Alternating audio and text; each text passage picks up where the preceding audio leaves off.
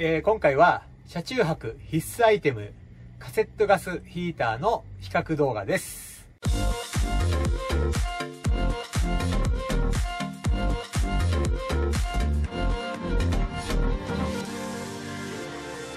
今回、えー、比較するのが、えー、このミセスヒートっていうカセットガスヒーターとあと岩谷の風暖っていうカセットガスヒーターです。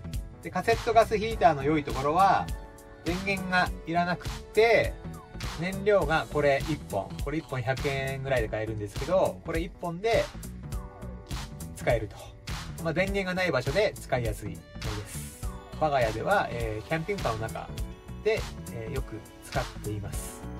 ミセスヒートは確か価格は5、6000円だったような気がするんですけど、今はちょっと Amazon を見ると1万円ぐらいまで値が上がってるんですけど Amazon は、えー、在庫状況によって値段が、えー、上がり下がりするので確か定価は5 6 0 0 0円だったと思います。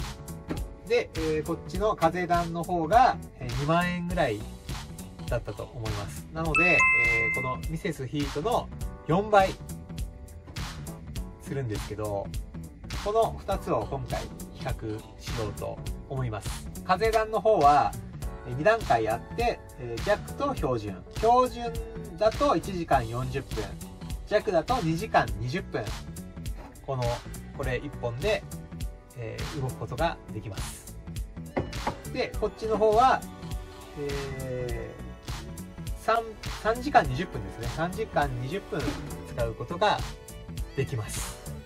えー、っとねまずは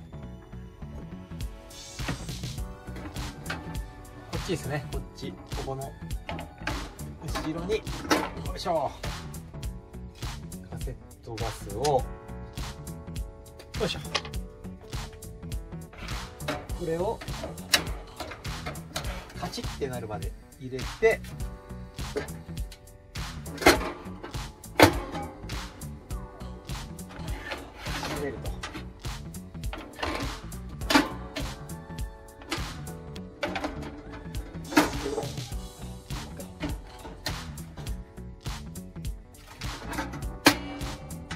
ね。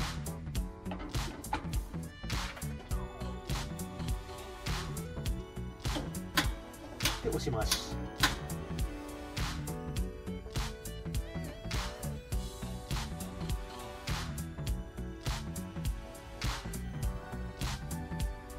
はい。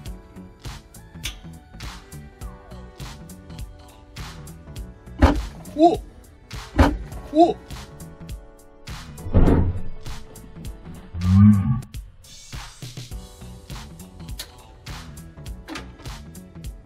おおびっくり。えなんすかこれ？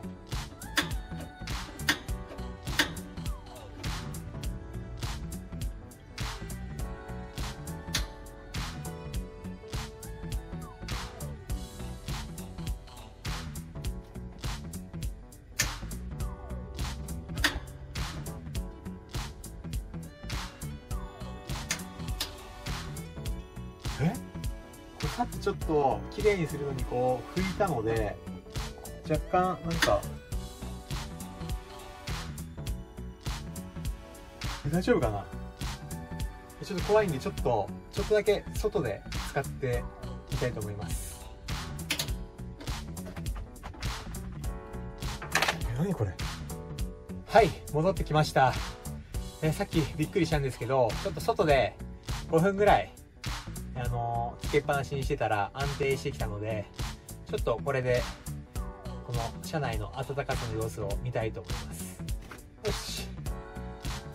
じゃあちょっと暇なのでちょっと携帯ホーベッドで携帯やります。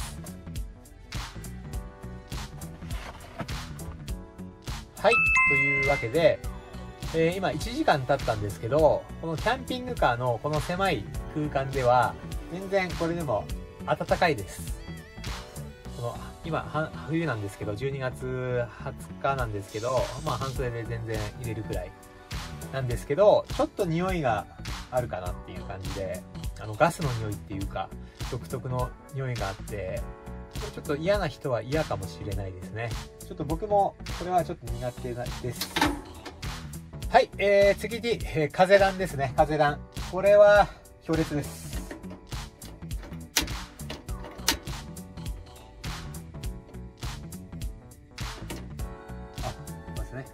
ましたで、えー、弱と標準があるんですけど、これ、キャンピングカーの中で標準だとものすごく熱くなっちゃうので、弱で使います。まあ、点火して20秒、30秒ぐらいすると、風が出てきます。はい、じゃあこれもまた、ちょっと私は読書をして1時間ぐらい過ごそうと思います。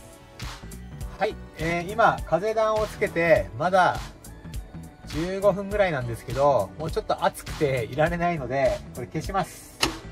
まあ、このキャンピングカーの、えー、狭い空間の中では、もう風暖の方が断然強いですね。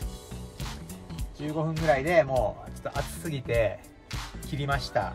で、一方、こっちの方は1時間ずっとつけっぱなしにしてたので、強さで言えば全然風暖の方が強いです。ちょっとこっちの方が、その、えー、カセットガスの匂いというか、少しガスの匂い匂いみたいな、ちょっと違和感のある匂いを出すので、ちょっと室内で使う場合は、私はちょっとこれ苦手でした。